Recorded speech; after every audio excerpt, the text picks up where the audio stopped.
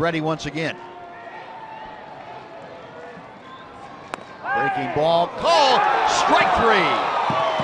And that is a winner. Neftali Feliz punches out Grant Green. The Rangers end up winning the ball game despite the Angels putting up a run in the 11th. Rangers walk off with a 5 to 4 win in the finale of this three game set and the road trip.